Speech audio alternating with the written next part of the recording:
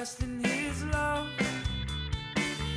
I will trust the Lord, oh my soul.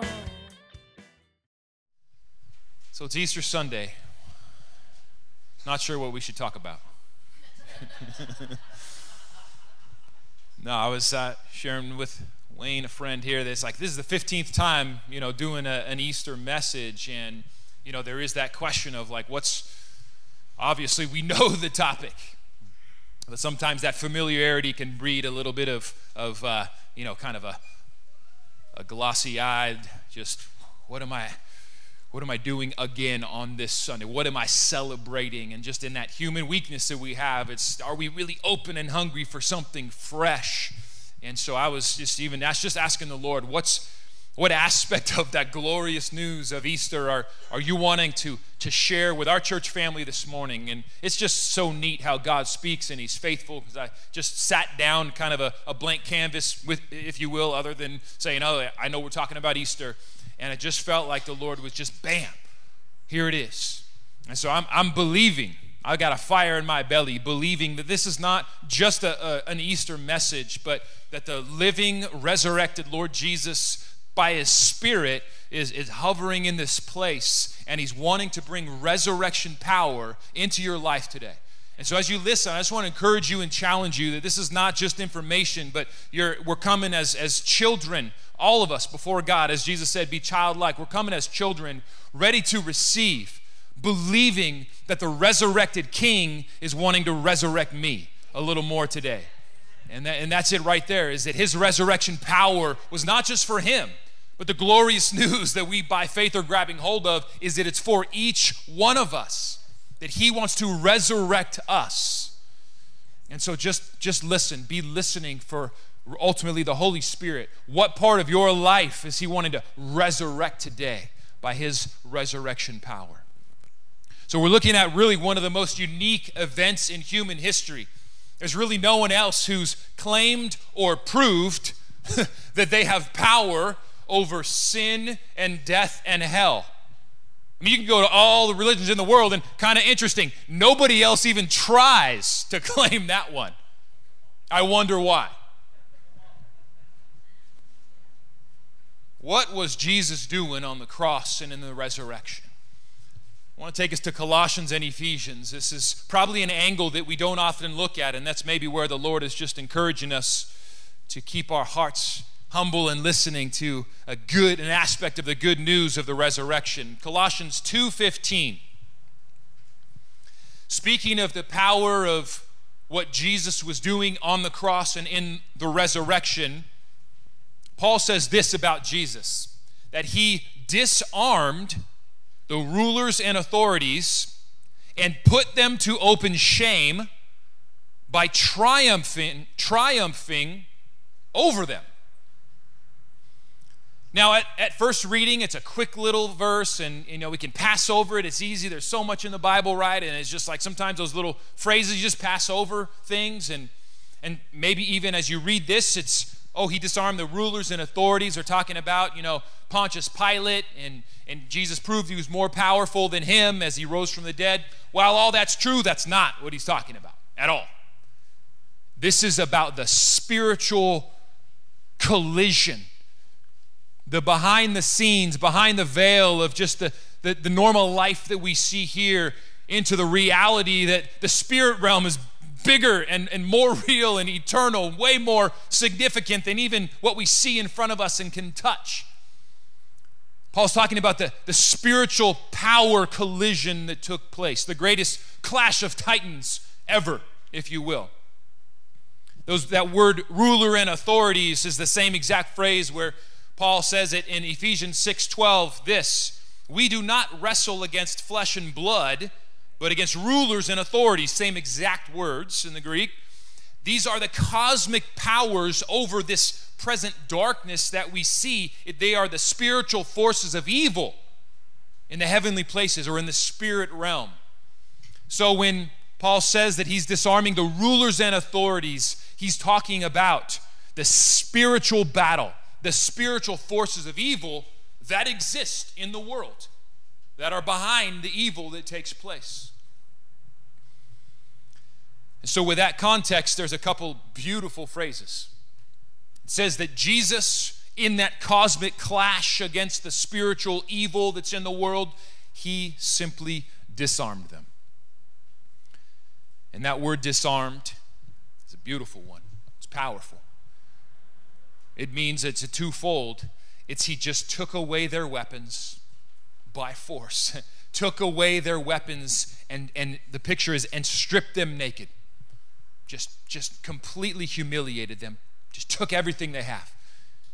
When the power collision took place, there, there was no real battle. As we just saying, you have no rival. I mean, a collision took place, but it wasn't even close. Jesus just took away their weapons and stripped them naked. And he goes on to say, and he put them to open shame by triumphing over them. Now, this is where we can just quickly read over it and, oh, that's kind of cool, but oh man, we're missing the context of, of the culture. There is a very specific Greco Roman cultural reference here in this very word of triumphing. It's very specific, it's intentional. And if you're, if you're not familiar with the context, this is the time where first the, you know, the Greeks with Alexander the Great, and then the Romans had taken over all of the known world at the time through bloody conquest. And so this, they're living, and Paul's actually writing under prison house arrest, under Roman rule. He's a Roman prisoner while writing this book to the people of Colossae and, and Ephesus. And so, in that context of the Roman rule, where there's been these series of you know conquering generals and war heroes, there was this very specific picture that Paul wants to paint.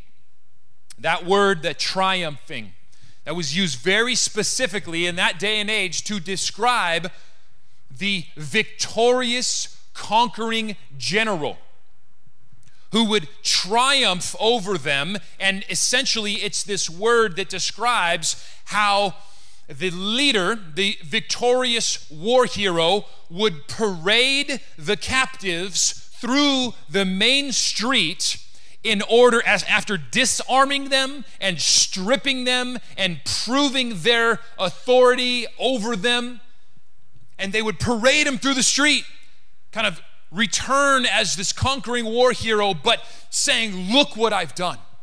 Look what I've done for you look how powerful I am this is this is all that's left of our enemy I have conquered them they are now stripped and they are bloody and they're being dragged through the streets as a victory lap. And this happened multiple times in Greek and Roman history. And Paul says Jesus took that victory lap with Satan being dragged behind him in the street, bloodied, defeated, and saying, Look who I've triumphed over. I love the message translation where it says of this verse that Jesus stripped all the spiritual tyrants in the universe of their sham authority at the cross and he marched them naked through the streets. Jesus had a parade on Resurrection Day and he's inviting us to join him. I mean, when you think of these warriors that come through the streets, what's the natural response of the crowd?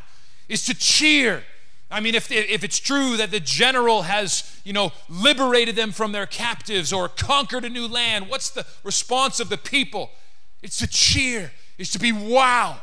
It's, just, it's to somehow say, hey, I, I want to be a part of that team. I want to share in that victory. I want your victory to become my victory, right? And that's exactly what Jesus is doing. He has paraded the enemy through the streets, and that is an invitation to faith in him as the conquering hero, where he's saying, By faith, come and taste, partake. My victory becomes your victory. And I have gifts that I want to share with you. I have the spoils of war, in fact.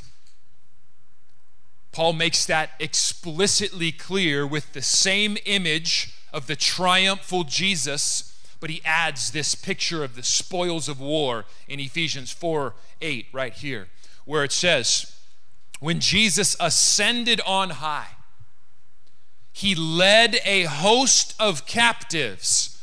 So, what is that? That's the same exact picture. That's that Greco Roman picture of the victorious, conquering hero who is leading a host of captives. The defeated foe is being dragged in the streets in humiliation. Jesus is putting him to shame, saying, I have no rivals. It wasn't even close.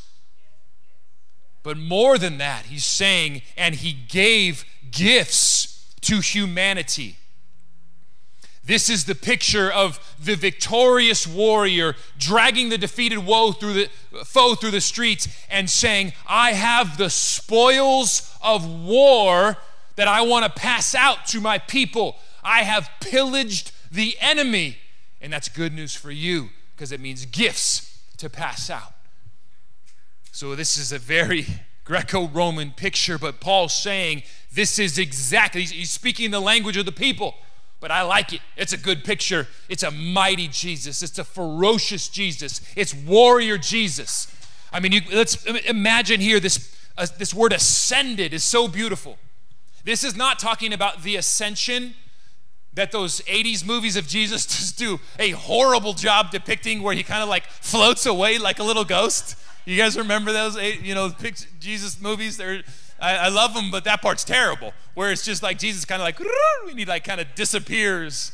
I mean, the, you know, whatever. The technology wasn't there, but that's that's it wasn't a glorious ascension. That's not though. This is what Jesus is is being referred to here.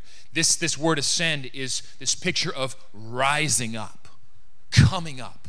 When Jesus rose up, what was he doing? What happened? And so a picture came to my mind as I was preparing this. This is like you can imagine in the spirit realm, Jesus ascending, leading captives, passing out gifts. This is him. He's rising up from death, hell, and the grave in victory, in power. He's just in, in full glory. Show, and, and, and he's got a chain in his hand, and to that chain is attached the the defeated foe Satan, who he's just dragging with him up from the grave, just to prove in a public spectacle look, he doesn't have to win anymore in your life. He is a defeated foe. He is now chained. He's the one who is defeated and, and doesn't have to live in victory anymore. And to prove it, as he keeps rise, rising up, he shows us, and look, these are the spoils of war. I have pillaged hell for you. I have taken back what the enemy has stolen, and in my victory, I want to give it back to you. I want to give you that new identity that the enemy had stolen and say, No, beloved child of God, I want to give back that forgiveness that you didn't think was possible, that me, I could be holy and blameless before God in Christ, no matter what I have done. Jesus' sacrifice on the cross was enough. And it just keeps going and going this invitation of Jesus for what he wants to pass out as the spoils of war that he's pillaged from hell. How about deliverance from the lies of the enemy that keep us paralyzed in fear? How about the healing for your body that's needed? How about your life having clear purpose? And passion that gets you up every morning with a fire in your belly? How about the light and easy yoke that Jesus himself speaks of that he says he has? And he, wanna, he wants to pass it on to all of us so that we can live like a kid in God's kingdom.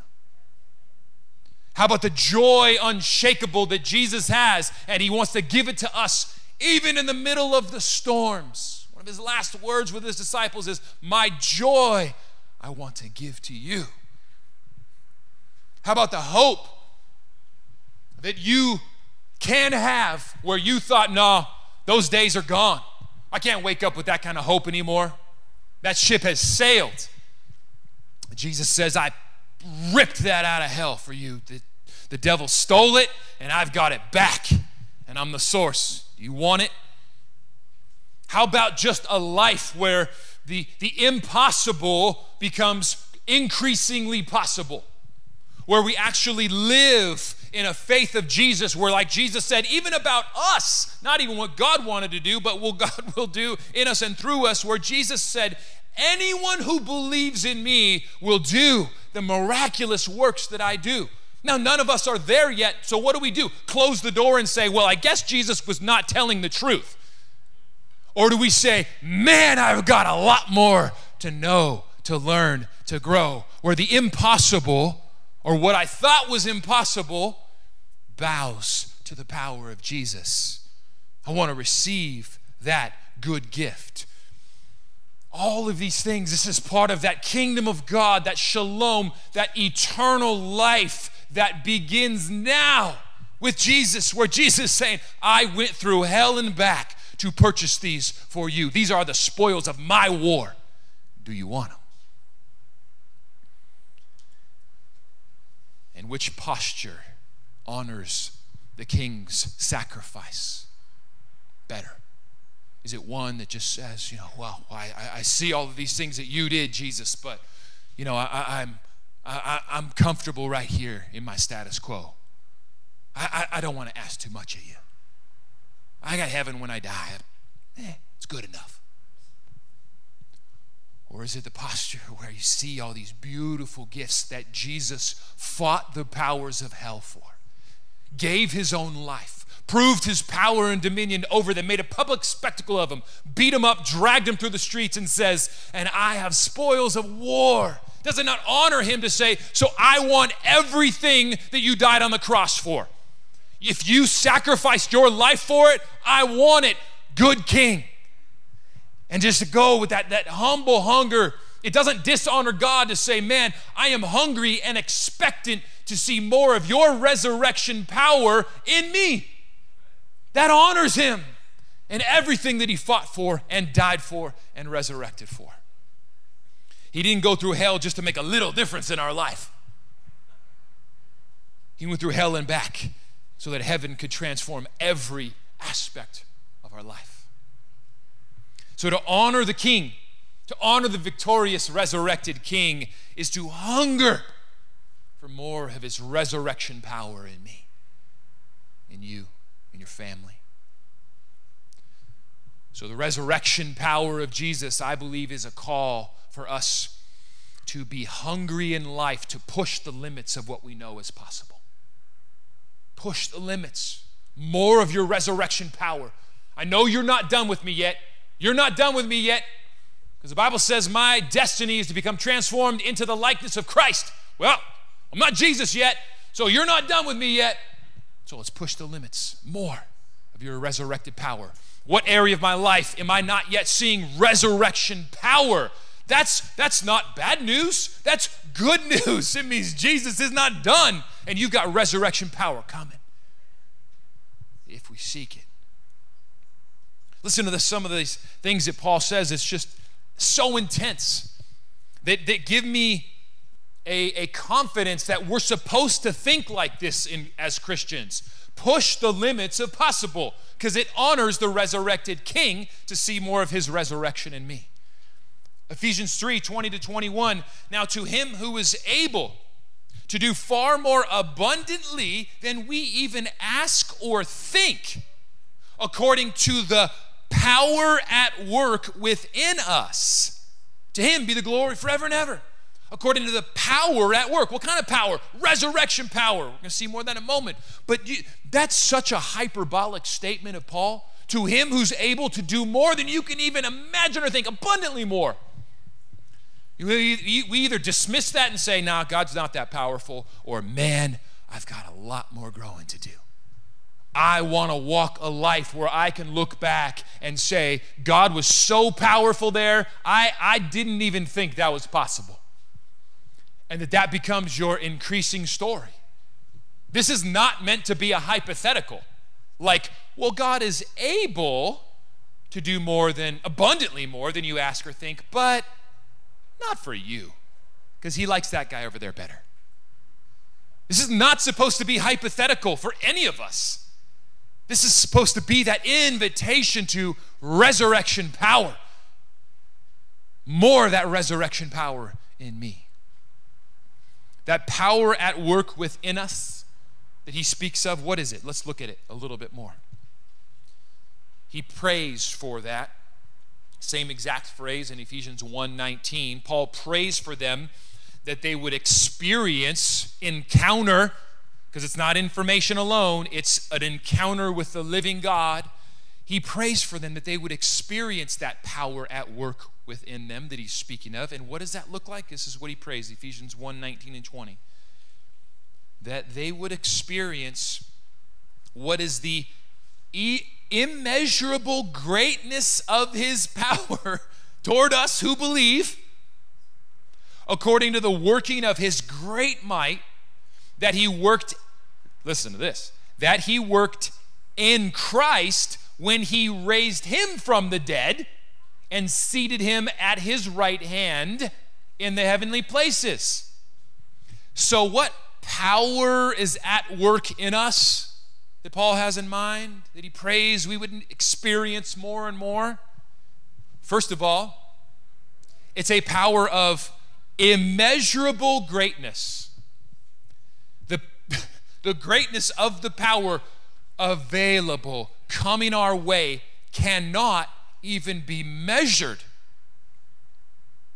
I mean, if that's not a call to, to humbly be hungry to push the limits of possible, when you combine that with Ephesians 3:20 that he wants to do abundantly more than you can even ask or think, I mean it's wow.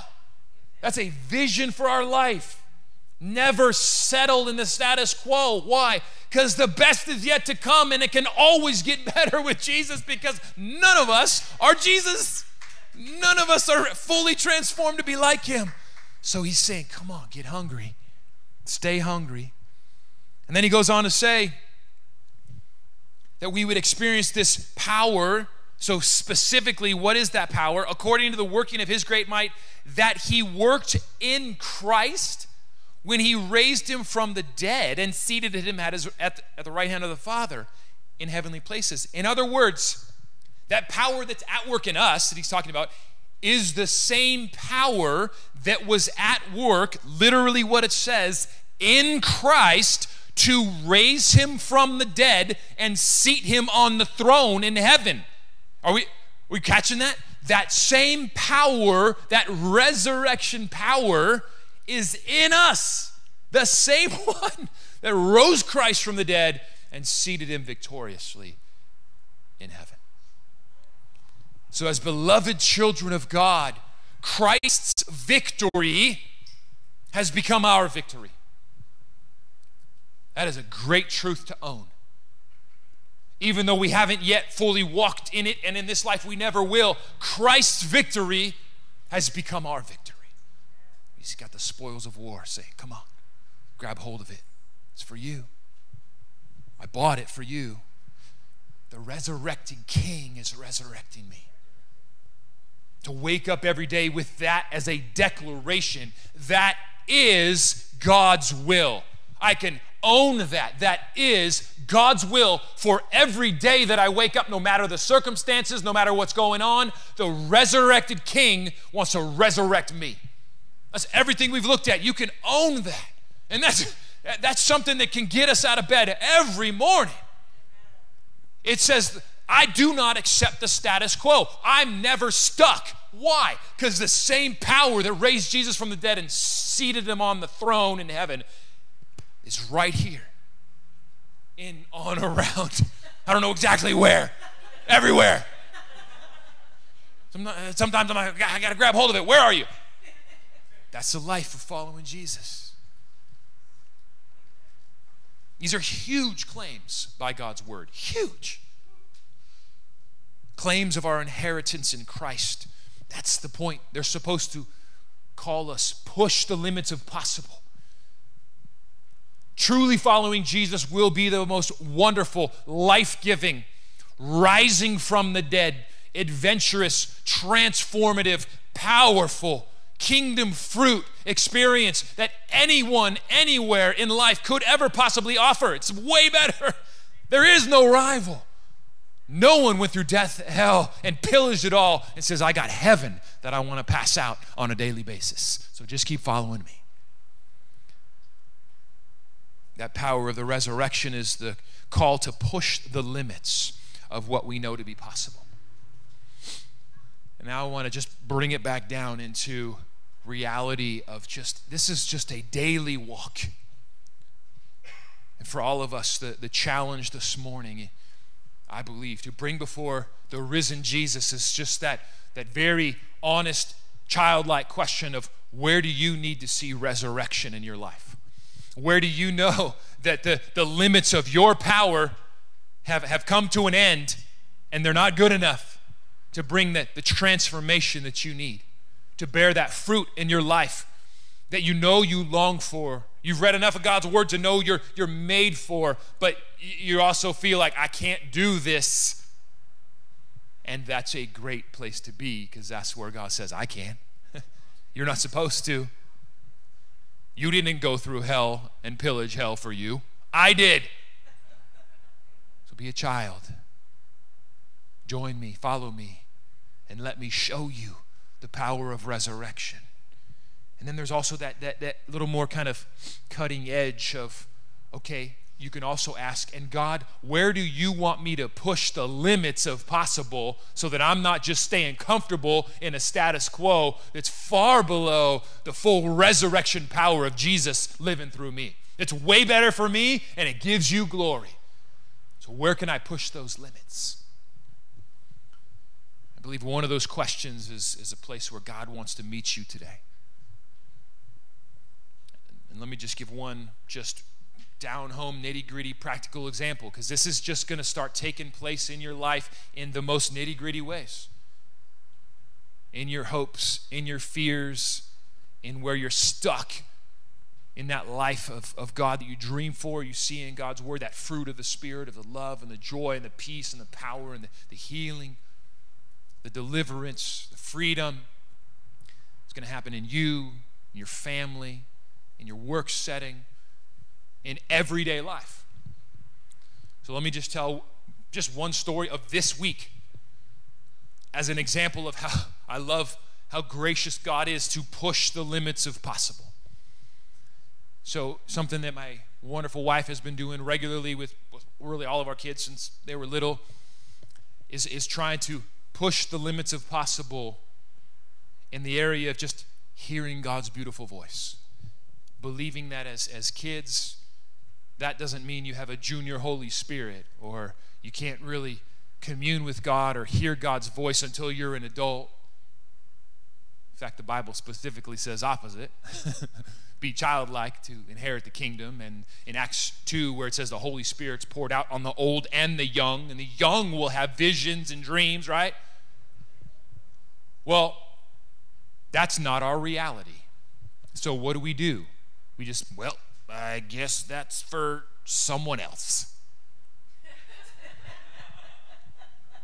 or do we say, let's push the limits of possible? We're not there, but it's not our power anyway. So, what does it look like? So, she's done a great job just believing the word of God and saying, hey, let's practice. And so looks for those opportune times to what let's practice hearing God's voice and hearing his heart and feeling his love. And he's that God who dances over us and sings over us and is, is, is way better than any parent in wanting to just give good gifts to his children. His heart is so full of that warm love. And so starts you know, teaching from that young age and let's listen. What is God saying? What do you feel God doing right now? And and so it's an ongoing thing, but this just this week, a couple days ago, a few days ago. So practicing with our little guy, nine, Paxton and and and he picks up just randomly picks up my guitar and it's on the shelf because I tried and and there's no resurrection power there for me. I tried a couple times hard. Oh, that's the thorn in my flesh, right? so stop it. That's bad theology. No. But I have no rhythm. Okay. I'm focusing on other other things right now. So the Lord's going to resurrect that at some point in my life. But it's on the shelf right now, and I'm okay. Anyways, that's a status quo. Look, I just gave it gave it up, up to the enemy. Um, anyways, Paxton picks it up and he just starts playing. He's having fun. You know, he's nine, never you know touched the guitar. Just, and, and my wife from the other room's like, "Whoa! Like something's happening. Like he- heaven's here." And I mean, and he's just banging, but she she's feeling, believing the Holy Spirit like is feeling God's presence. And, and, and so she goes in there and she's like, Whoa, Paxton, I really, I, I feel like heaven just open and smiling and over you and, and, and wow. And, and she's like, do you, you know, what, what do you see? What do you feel? What do you sense? And so, and he shares and they just share this beautiful moment. And I don't remember all of the details of exactly what he saw, but it was just this sense of that he's, he's feeling the pleasure of God and God's love and he feels the power of God. And he's this little guy. It's almost like not a surprise because it's like he's a guy for even a couple years, Christian radio. And, and now we're looking back and I was like, whoa, like that's just an area that God's just wired him to thrive. Because he would, little songs on the radio, afterwards he would critique them, not on the music, but he'd be like, wow, that, that, that song's got a lot of, got a lot of like the, the power in it, huh, Dad? And then another one would be like, that song's not very powerful. I was like, wow, that's he's not critiquing the music. It's like he's, he's feeling like the, the heaven, the presence of God. And so they had this beautiful little exchange there, and it's like, wow. And so she's blessing him, saying, wow, I think God may have, have been showing you, Paxton, that like he through through the music that you play, there's gonna be power of heaven. And then here's the specific that I want to focus on. She felt like she had a picture of what a tomahawk and, and, that was related to him that God was saying, and that's highly esteemed in our family, the, the tomahawks and the Native Americans. I remember when I was a little kid, I used to lie to people and tell them I was a quarter Cherokee because I was like, whoa, there's something so powerful and awesome. And so she got this picture of, of a tomahawk and said, I feel like, you know, this is, this is for you, Paxton, that God has, has, has made you to be this, this powerful worshiper that, that, that just like a warrior breaks off things in people, this anointing and it, to release heaven in worship. And then there was a sense of like a double. And she talked to me later about it. It's like, whoa, I saw this tomahawk. And, and I felt like there was this like double breaker anointing on Paxton as he sings and is like, and he was just like, ah, just all, all into it. And I was like, wow, that's that's pushing the limits for me of what's possible. He's nine tomahawks. Come on. So this is where the Lord knows to, to, to humble those of big faith, right? So, like two days later, I walk into Paxton's room as soon as I wake up, and I look on the ceiling, and shining is this image that may or may not appear on the screen. That's the ceiling. That's the ceiling I don't know about you, but to me, those look like tomahawks. double, double breaker anointing. Let's get a little close up on that, a little closer. That's the ceiling. That is a reflection of light coming from somewhere. We've lived in that house five years. We have never seen anything like that. Waking up every day and, and, right after God gives my wife a vision of a double breaker anointing of tomahawks for our nine year old, I walk into his room, and on the ceiling is an incredibly clear picture of two tomahawks. Five years in the house, never seen anything like that. Never seen anything on the ceiling, frankly. Pushing the limits of possible. What's, what's the takeaway? God's good. I don't know. like, he's real. He's present. He's powerful. He's really, really good. Even with me, I'm like, tomahawks, eh, hey, cool. No, he's like, no, tomahawks. Remember this one, it's significant. And I need that. And you know what? He's so gracious to say, hey, Casey, you need this one. Yeah, what, what? It's just Jesus. That's not in a way like that's not special. That's that's just God. That's just Jesus pushing the limits of possible. Just saying, I want the more of the resurrection power of how personal, how real, how good, how awesome I am. I just want that to become your normal. So that you say, awesome, that's just you. And then there's another hunger that says, well, what's the next normal? What's the next impossible? What did I think was impossible before? You know, flashing tomahawks on the ceiling. Oh, that's just normal now. God, what's your next level of possible? Could I, could I go out into the streets and confidently say, God, right now, would you give me a word for that person that you love, that is your treasure? Would you show me some of your heart for them right now? Or would you put healing in my hands? Would you help me just have a sense of where they're at in their life so that they can know the personal, powerful, present reality of the Lord Jesus who sees them as his treasures? Or what's next? I mean, who knows? Just more of Jesus. That's all I know. It's all I can promise. More of Jesus becoming real, more of the resurrection power in Him living in you. It's just one step at a time. That's just this week. I don't know what Jesus has for you this week, but it's good news to pursue Him with that boundary, possible pushing hunger that says, I believe your resurrection power is wanting to resurrect me. Let's, let's pray right now. I want you ask you to close your eyes just between you and the Lord. We're going to have a little time to listen. I'm going to ask my wife to pray a blessing over us, a word. But for now, in this moment, we just want to ask you to just to sit quiet, just between you and God. Almost pretend there's no one else in the room. As a, as a beloved child, come before Him and just ask, or He's asking you, where do you need to see resurrection in your life? Or where can you push the limits of possible and expect more resurrection power in your life? Holy Spirit, we ask that you would lead each and every heart in this place into what it is that you want to say. You, the risen Lord Jesus, the good news that you have for your beloved people today. I just felt like I saw a picture of the Lord, and he was seated at a beautiful king's table, his table. And he's saying, Come and dine with me. Come and feast with me. Come and feast with him on the spread that he has laid before us. The impossible is possible.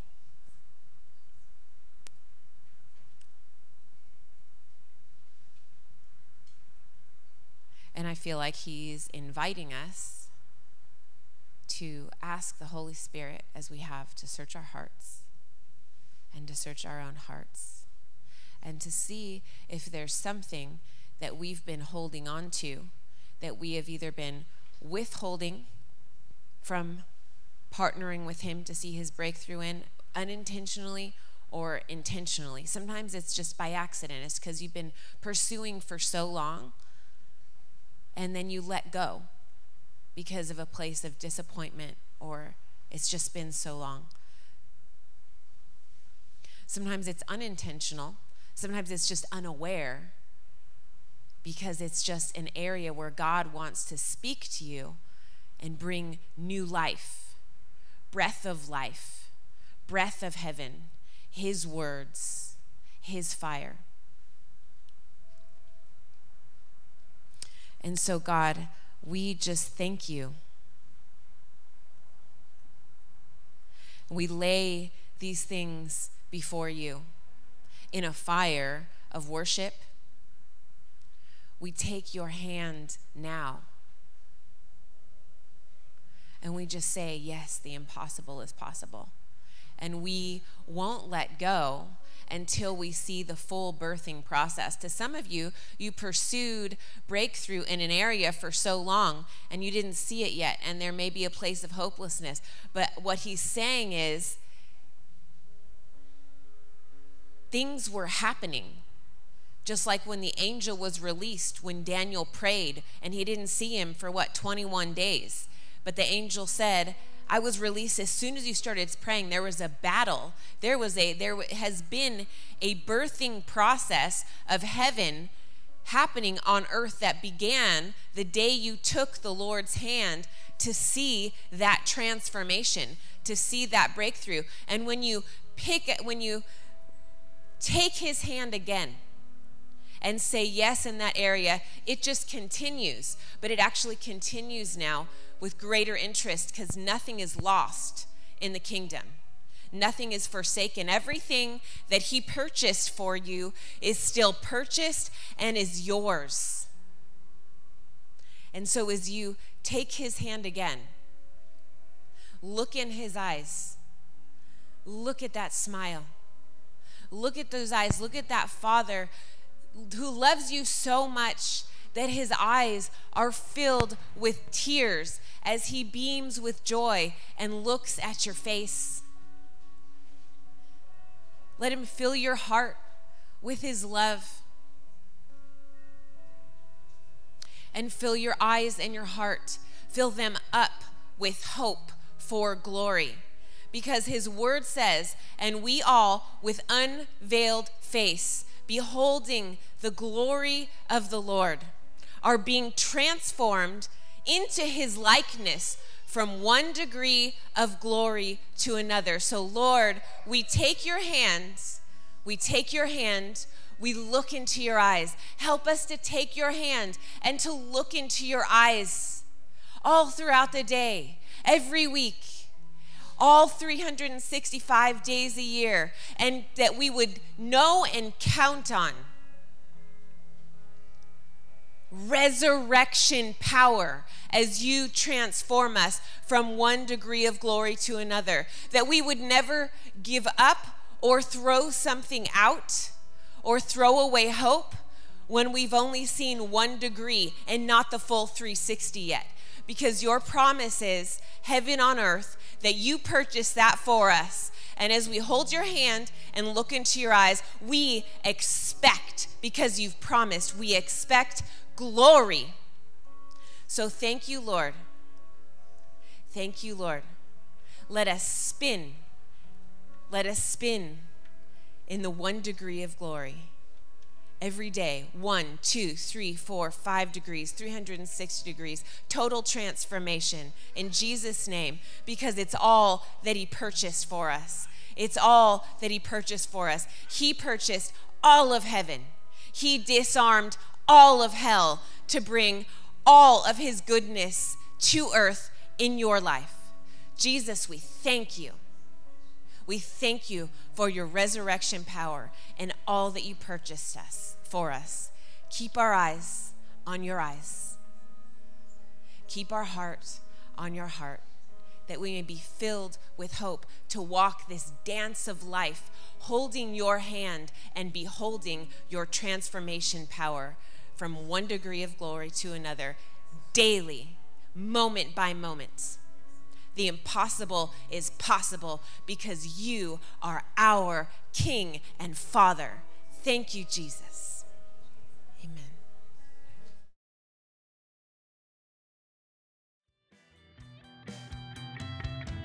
I will sing